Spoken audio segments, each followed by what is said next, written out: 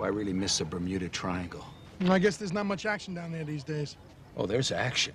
There's plenty of action. It's that damn alien autopsy that's stealing all the headlines. Yeah, tell me about it. See, what they got to do is lose a plane or a Greenpeace boat. And see, that would get the triangle going again. What keeps the water in there? I mean, why doesn't that disappear? Now, what would be the point of taking the water? It's gorgeous water. Do we own Bermuda?